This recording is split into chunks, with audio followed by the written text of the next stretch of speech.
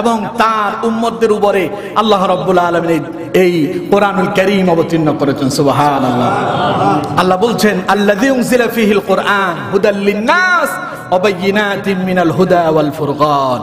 আমি কোরআনুল কারীম অবতীর্ণ করেছি মানুষের হেদায়েতের জন্য এবং সত্য এবং মিথ্যার পথ নির্ণয় করার জন্য আমি আল্লাহ পাক এই কোরআনুল করিমকে অবতীর্ণ করেছে সুবহান আল্লাহ আর এই কোরআনুল করিমের দ্বারক এবং বাহক কারা যারা এই কোরআনুল করিম শিক্ষা করে, যারা কোরআন শিখে, শেখার পরে এ কোরআন মানুষের কাছে আবার সমভাবে মানুষের কর্ণ ঘরে পৌঁছায় দেয়। সেই সমস্ত লোকদেরকে আমাদের দেশীয় ভাষায় কি বলে? ওলামাই কারাম, কি বলে? ওলামাই কারাম। মসজিদের ইমাম সাহেব থেকে শুরু করে, মুক্তবের হুজুর থেকে শুরু করে একেবারে বর্তমান পার্লামেন্ট পর্যন্ত।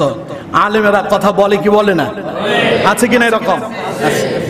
আমার, তো সুতরাং এই যারা আলেম হতে পারবে, যারা আল্লাহর কোরআন মোতাবেক জীবন পরিচালনা করতে পারবে, আল্লাহ রব্বুল আলমিন তাদেরকে দারুল মাকাম নামক জান্নাত দান করবেন সুবহান সেই জান্নাতটা কেমন হবে? আল্লাহ রাব্বুল আলামিন বলছেন, সূরা ফাতির, এর 35 নম্বর আয়াত। আল্লাহ বলছেন আহাল্লানা دار المقامة من فضله لا يمسنا فيها نصب ولا يمسنا فيها لغوب যারা কোরআন মোতাবেক জীবন পরিচালনা করলো কোরআনে যা হালাল বলেছে তা হালাল মেনে জীবন পরিচালনা করলো যা হারাম বলেছে সেটাকে হারাম মেনে বর্জন করতে পেরেছে। আল্লাহ রাব্বুল আলমিন স্বীয় অনুগ্রহ করে তাদেরকে দারুল মাকাম দান করবেন। আল্লাযী আহাল্লানা দারুল মুকামাতি মিন ফাদলি। তারা সেই দিন জান্নাতে গিয়া দারুল মাকামে যারা প্রবেশ করবে, তারা বলবে, আল্লাহ রাব্বুল আলামিন স্বীয় অনুগ্রহে তার নিজ অনুগ্রহ করে রহমত দ্বারা আমাদেরকে এই দারুল মাকাম দান করেছেন। সুবহান এরপরে তারা কি বলবে? এমন এক জান্নাত আল্লাহ পাক আমাদেরকে দান করেছেন যেই জান্নাতের ভেতরে কোনো অশান্তি নাই কোনো দুঃখ নাই কোনো দুর্দশা নাই কোনো হতাশা নাই কোনো চিন্তা চেতনা আমাদেরকে গ্রাস করতে পারে না। সুবহানাল্লাহ বলবেন না? সেই জান্নাত পেতে চান তো? আরও আসতে বলেন চান কিনা? কীভাবে? নামাজ পড়ে। না হুজুরদের পেছনে? তাই হচ্ছে। অথচ সে দারুল মাকাম আল্লাহ তাদেরকে দেবেন যারা কোরআনের আইনকে প্রতিষ্ঠা করার জন্য চেষ্টা করেছে। যারা কোরআনুল করিম নিতে শিখেছে, মানুষের কাছে পৌঁছায় দিয়েছে। আর আপনি তাদের পেছনে বাস দেন আর দারুল মাকামে যাওয়ার চিন্তা ভাবনা করেন। এটা কি আদৌ সম্ভব? আরও আসতে বলেন, সম্ভব? সুতরাং এই মন মানসিকতা যাদের আছে, সেই মন মানসিকতা পরিহার করতে হবে। অন্তত কিছু করতে পারেন আর না পারেন। ওলামাই কারাম কি বলছেন সেগুলো শোনেন।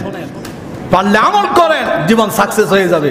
তবে বিরোধিতা করবেন না, কারণ সেটার বিরোধিতা করলেন মানে কোরআনুল কারিমের বিরোধিতা করেছেন। কোরআনের বিরোধিতা করলে আপনি কি জান্নাতে যাবেন না জাহান্নামে যাবেন? সুতরাং কোরআনুল কারিমের বিরোধিতা করা যাবে না। আর আল্লাহ রাব্বুল আলামিন কোরআনুল কারিমের অন্য জায়গায় বলছেন, ইন্নামা ইয়াখশাল্লাহ মিন ইবাদিহিল উলামা। আমাকে সবচাইতে বেশি যারা ভয় করে, তারাই হচ্ছে ওলামাই কারাম। এই কথাটি কার? কারণ তারা কোরআন পড়েছে, তারা রসুলের হাদিস পড়েছে, তারা জানে কোন পথে জীবন পরিচালনা করতে হবে। এজন্য মসজিদের ভেতরে কেউ আসুক আর না আসুক, মসজিদের ইমাম সাহেব নামাজের সময়, সঠিক সময় মসজিদে উপস্থিত থাকে কি থাকে না? প্রিয় ভাইয়ের আমার, এজন্য আলেমদের বিরোধিতা করা যাবে না। আলেমদের পক্ষে থাকতে হবে। কাদের পক্ষে থাকতে হবে? আলেমদের পক্ষে থাকতে হবে। এরপরে দারুল মাকামের ভেতরে আরও কি থাকবে? আগে বলছেন, কোনো কষ্ট হবে না, কোনো দুর্দশা হবে না, কোনো দুঃখ যন্ত্রণা আপনাকে গ্রাস করতে পারবে না। এবার বলছেন যারা দারুল মাকামের ভেতরে প্রবেশ করবে, তারা বলবে, এই দারুল মাকামে আমাদেরকে কোন ক্লান্ত, আমাদেরকে কোন রকম স্পর্শ করতে পারে না। সুবহান শরীরটা দুর্বল হয়ে যাবে না, তন্দ্রা আপনাকে স্পর্শ করবে না। মাঝে মধ্যে আমাদের এমন হয়, শরীর একদম দুর্বল হয়ে যায়, হাঁটতে পারি না, খেতে পারি না, চলতে পারি না, অসুস্থ হয়ে যায়। আল্লাহ বলছেন আল্লাহ ফিহা লুগুব যারা দারুল মাকামের ভেতরে প্রবেশ করবে, ওই দারুল মাকামের ভেতরে প্রবেশ করার পরে কোনো ক্লান্তি তাদের ভেতরে আসবে না সুবহান সুতরাং, এ আশা রাখতে হবে, যদি কোরআনের পক্ষে কাজ করতে পারি, কোরআনের জন্য যদি জীবন দিতে পারি কোরআন মোতাবেক যদি জীবনটাকে পরিচালনা করতে পারি, আল্লাহ পাক আমাকে দারুল মাকাম দান করবেন ইনশাআল্লাহ। ঠিক কিনা বলেন?